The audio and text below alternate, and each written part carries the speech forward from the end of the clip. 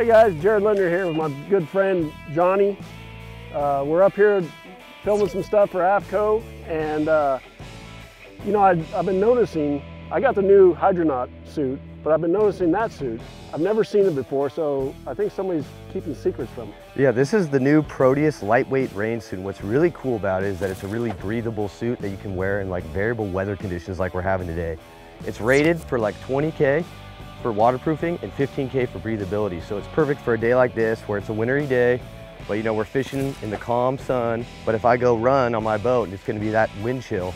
This is the perfect suit to be wearing because it can breathe and you can wear it all day and not get overheated. But when you're driving, you won't get cold. Right. So I need to get one of those for the Major League Fishing start at Toho because it could be, you know, I mean, it could be sunny and all yeah. of a sudden it's raining. You know, Alabama when you're sitting there and thunderhead moves in and pours on you, you throw that thing on, it, it it's lighter weight, right? Yep. So it's not insulated. So it's definitely something you should always have stored in your boat.